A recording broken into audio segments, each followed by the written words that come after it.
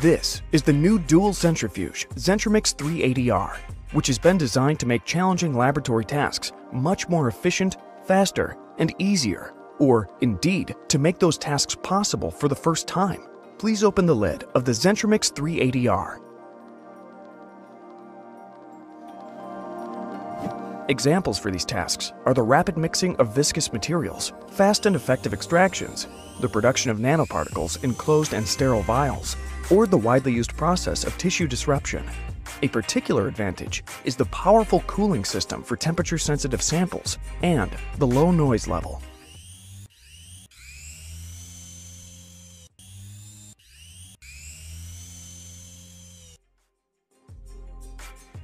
Let us take a closer look at the components, which comprises the ZentriMix basic device, the ZentriMix rotor, and of course, all the adapters to accommodate various types of sample containers.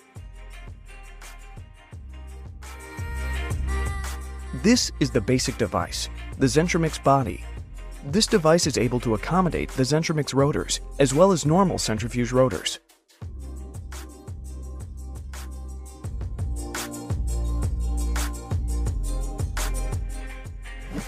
This is the patented ZentriMix rotor, the heart of the new ZentriMix device. This completely new type of rotor is equipped with two additional rotation units, which rotate separately during centrifugation.